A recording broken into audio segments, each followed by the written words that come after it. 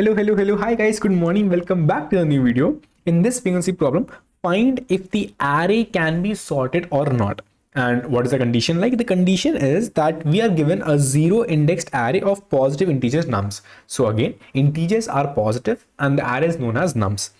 In one operation, you can swap any two adjacent elements, but the condition is if they have same number of set bits. Now, to just count these set bits you can have just iterate on the elements as in like just write okay while n is more than 0 if uh, n mod 2 if n mod 2 then i can actually increase the count of set bits let's say count plus plus and i can just keep on doing n equal to n by 2 by this you can actually count the set bits for any specific number.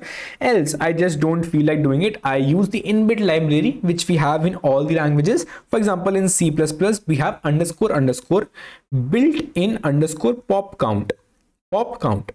Or you can just write on google like how to find or basically stl library for finding the count of set bits in any number so I can use this to find the count of set bits in any number. And he's saying that I can swap two adjacent elements only in only when the count of two, which means the count of the set bits in those adjacent elements are actually same and uh, I can do this operation any number of times which is the next statement. And I have to return true if I can sort the array else return false. So ultimate aim maksat maksat ni bhulna or maksat our aim is that my array this array which is the input array should look like should look like a sorted array in the end. Which means I should I should be having 2 4 8 15 and 30 it should look like the sorted array in the end.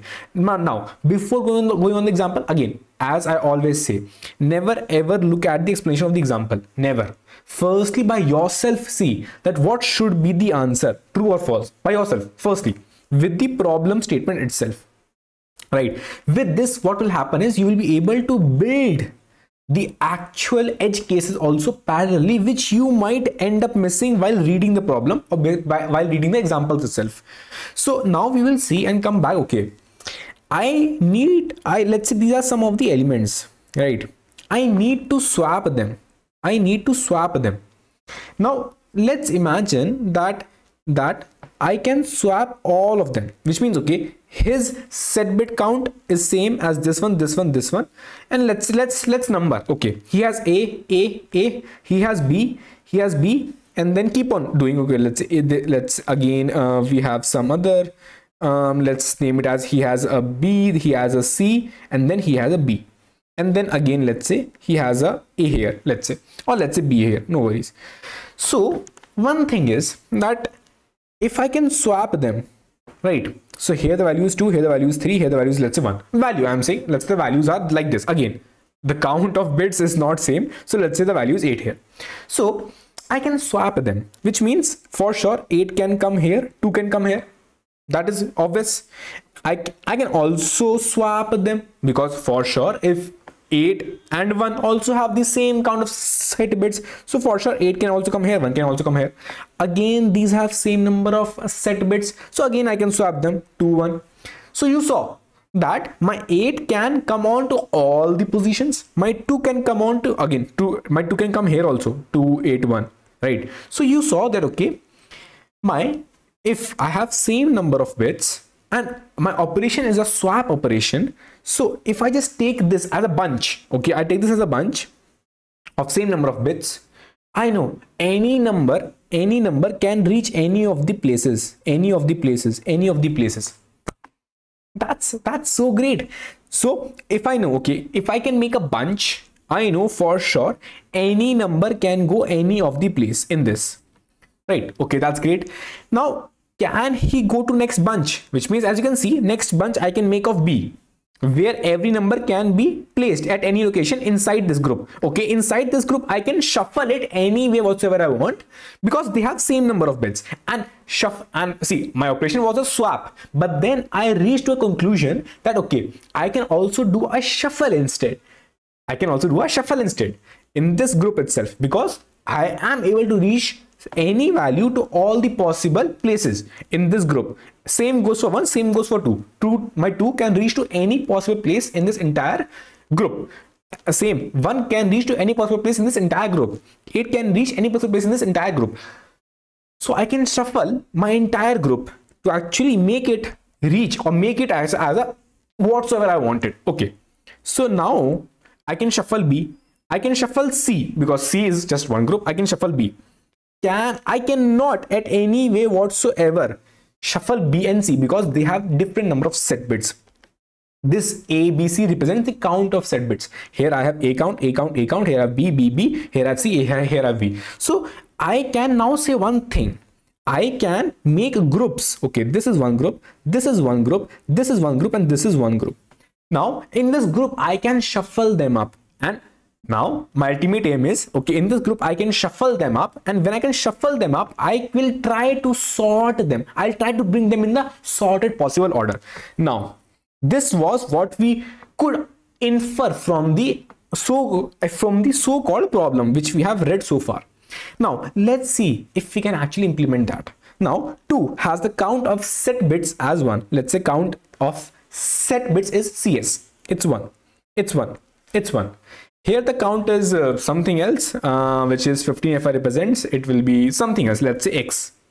Here also it is X. Same count. It's just shifted to the left side. So I can also infer it is x, x only, count of set bits. So you can see I can easily make a group here. I can easily make a group here. Now, Maksat aim was that we have to sort it down.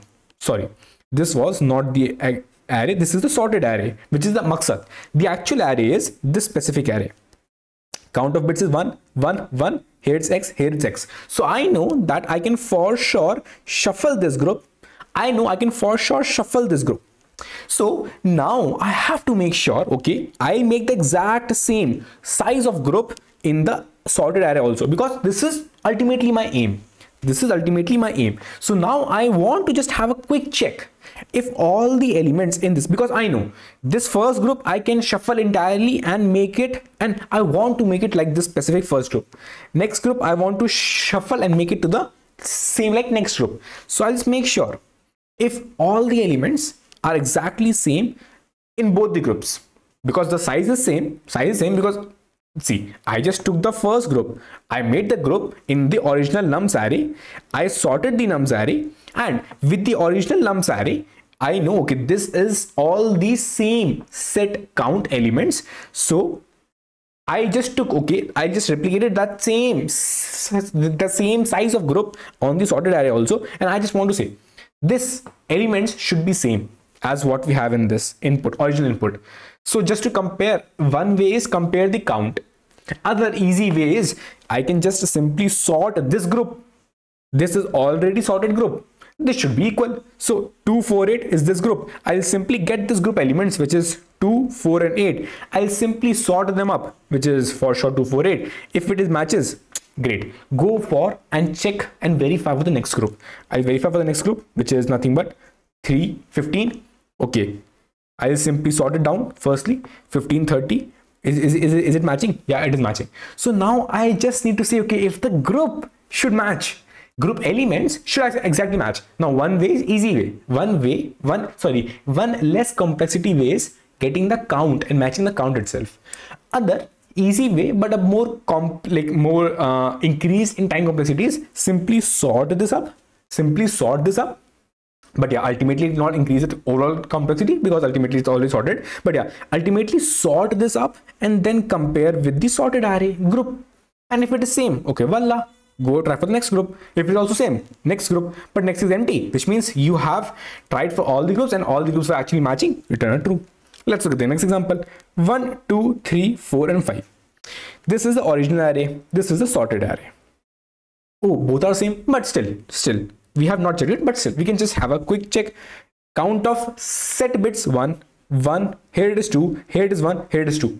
So to make a group, I'll simply make a group. Okay, make a group, make a group like this, make a group like this, like this, and like this.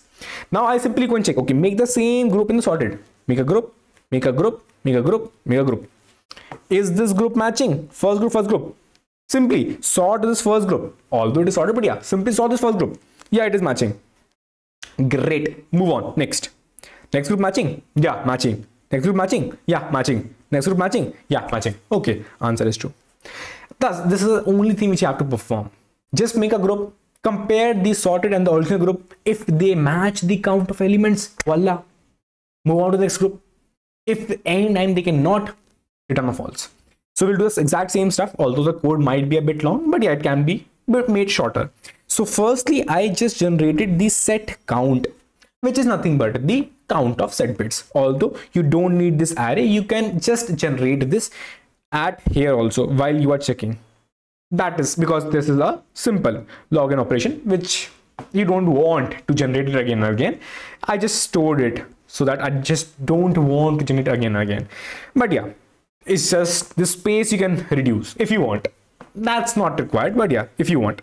So i got i got the set counts of all the elements all the indexes in this by using a built-in pop count. Okay when this i have got you remembered i need to have an original array i need to have a sorted array. So i this array input array i got this in my original array okay and then i just sorted this exact same array so as to make a sorted array. So my nums is now the sorted array and my original array original nums is not like or my original array now i'll simply go on to all of my indexes and i will make the group. I'll use simply two pointers. Simply make a group.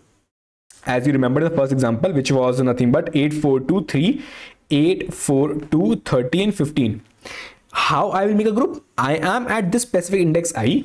I will start my index j from here itself. And I'll check j and j plus 1 if they have set count set bits count is as same simply increase the j. As you can see both have set bits count. Let's say sc both is there 1 1 1 it is xx you saw j and j plus 1 both have set count as same. Okay great. Then increase your j. Both have same count. J and j plus 1 okay increase your j. Both have oh different count. Okay. Now you saw that as soon as it is different it will simply break so you saw it will simply break. So your i to j is actually a group right here. So i know that i will simply go on to uh, like start off with my specific index i and then i'll try to find my group size, which means I initialize my j with the same i itself and I'll just check if j plus 1 is less than n and also the set counts of j plus 1 and j which means me as you saw we were doing a j and j plus 1 we're doing this. If it is same then move your j forward. Okay i'll move your i'll move my j forward. Now if it is not okay let's let's forget this condition. But yeah if it is not then it will simply break out. As you saw j and j plus 1 was not equal to it simply break out. So this is same this is the group size. I to j is a group size. Now as you forgot or as you have remembered if something is a group size i just need to compare one thing this group size of the current original array and the sorted array should be same. Now you remembered my sorted array is my sorted array is my nums. This nums which i have simply sorted. Original array is the specific array itself. So i will just do one thing. I will i know i to j. I will get this all the elements in a temporary vector. Let's say 248 and i know my sorted array looks like 248 30 sorry 248 50 and 30 i'll get this entire range of elements in other temporary vector let's say 248 in other te other temporary vector in this other temporary vector. If these two are equal voila your group is matching.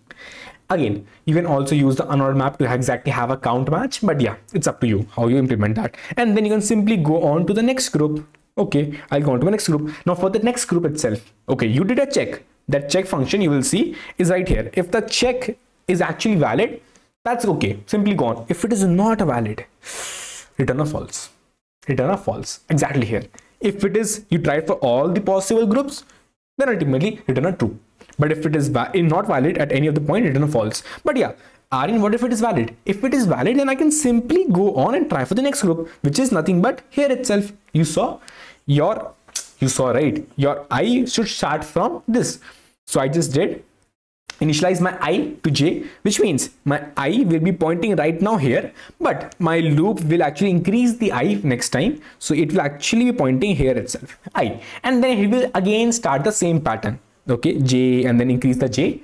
Keep on going forward. But you saw that here i will here again my j will be here j will be right here.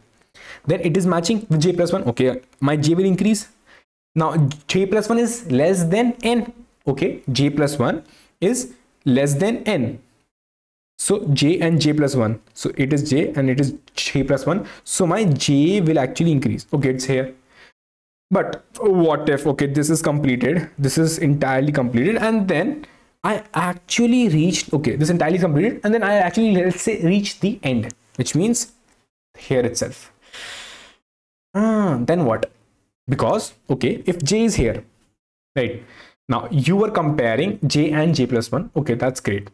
But i'm saying if you reached the end itself which is your j is n then you will have to put a condition. Okay if j reaches end but you you said okay if j reaches end still you should having a condition that okay your range should be from i to j itself which means it should not go beyond the range. So i just set i just added one condition. If my j reaches n please please please do a j minus minus else i will get a null pointer exception or i will get a runtime exception. So i just did a j write this. Again there are multiple ways to implement it. It is entirely upon you that if you want to do like this or not. Usually i do like this okay? I just put a for loop for my i and then i handle my j in the inside of my for loop and i make sure. I just diagram with the example to make sure if everything is working fine or not. Now have a check function? The check function simply says one thing. Bro you have original value you have nums sorted value. You have this i to j range. In that i to j range get all the elements out in the temporary vector. So this temp1 will contain i to j range original nums. This temp2 will contain sorted nums i to j range elements. So i just got these i to j range elements in my temp1 and temp2 temp1 is for original temp2 is for sorted now i'll simply sort it my temp1 and then i'll compare my temp1 and temp2 if both are same great if not then simply it will return a false again for this to implement, you can also use an unordered map. You don't need to sort it. That's another way to solve it. Cool. And ultimately, you can simply return the true. So by this, the time of this is O of n log n and space is O of n. But you can simply, you cannot actually reduce the space, like not exactly the space you can reduce, but you can try to like reduce the overall space. As in okay your space uses o of n plus n plus n. You can try to reduce it to just o of n itself but exactly o of n will remain o of n. Like you can reduce from o of 3n to o of n but still o of n will remain. That's what i want to infer. Like for example here it is o of 2 into log n 2 into n log n. But yeah you can reduce to just o of n log n that's a option which you can have to tell in the interview. But right now you can actually solve it like this. Cool? Thanks for watching. Bye take care. Bye bye